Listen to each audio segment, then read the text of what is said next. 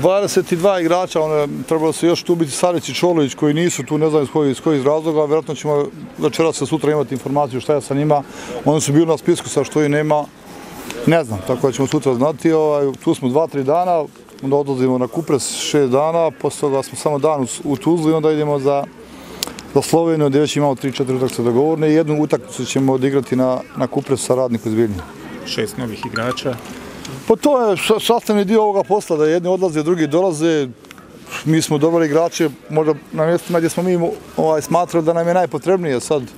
Vrijeme će pokazati jesmo li pogodili ili nismo, jer su to ti igrači koji evidentno da, da, da mi ove godine želimo malo nešto više da napravimo što je normalno, jel? tako da hoćemo, hoće to oni moći zajedno s nama, to ćemo da vidimo, to će vrijeme pokazati. Imate u planu još promjenu. cilj ili je to Pa vidite, vi znate da iduće godine šest ekipa ispada, ja se nadam da mi nećemo biti ti, ali je evidentno da će prvenstvo biti jako, kako da kažem, teško, neizvjesno, svi će želiti da ostanu, tako da neće biti ni malo lako, ali sigurno su naše ambicije puno veće nego što je taj opstanak. A sad, ovaj, ja inače kao po prirodi sam ambiciozan i ovo što smo proleto napravili, sve to u redu, sve to lijepo, a to se zaboravlja, to iza nas. I sad se mi moramo krenuti nečem ovaj, da pokušamo napraviti nešto više. Hoćemo u tome uspjeti, vidjet ćemo računati na još neka pojačanja?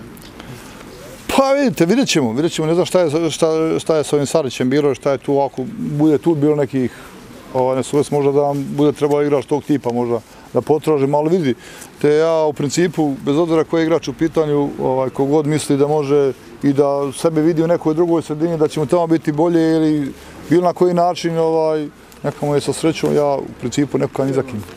Bez Koliko obzira imate u ko- planu kontrolni utakmica? Pa minimalno pet utakmica ćemo odigrati. Znaju se protivnici.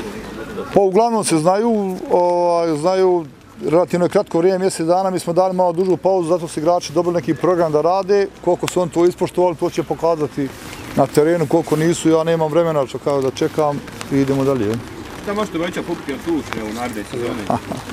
A ne, ja, teško je sport obećati, ovaj, teško obećati, ovaj, ja se nadam da i očekujem da možemo da igramo bolje nego što smo igrali i da li ćemo imati takve rezultate, to je sad druga stvar, ali ovaj, eto, ja sam na kraju prvenstva rekao, meni je drago da je, su navijači Slobode došli u situaciju da neke utakmice gledaju malo mirnije i da malo uživaju u toj igri, iako su i te utakmice bile, ajde kažemo, teške iz nekih drugih razloga, raznoraznih priča koje se vrte na ovim prostorima. Pa evo, tek smo počeli, vidjet ćemo ovaj, kako je stanje, kako su ovaj, ima dosta novih igrača, tako da očekujem da će biti sigurno, da će biti pojačanje i ovaj, da ćemo nastaviti tamo gdje smo stali. A gdje ste stali? Pa evo, uvezali smo neki bili pobjeda i ono, hajde ne računam zadnje kolo sa Sarajevom.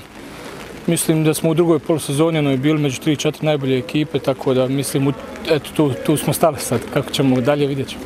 Znamo da u sljedećoj sezoni ispada šest ekipa, hoće li se Sloboda dovesti taj nezgodan položaj ili smatrate da imate kvalitet da već u jesenjem dijelu sezone kada se igra i 18-19 kola to završi?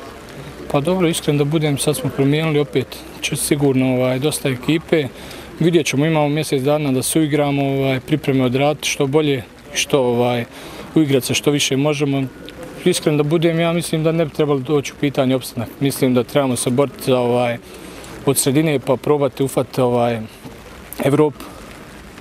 Pa eto, vidjet ćemo, još nismo ovaj, ciljevi, nisu, nisu nam ovaj, predočeni, vidjet ćemo kako, kako će biti.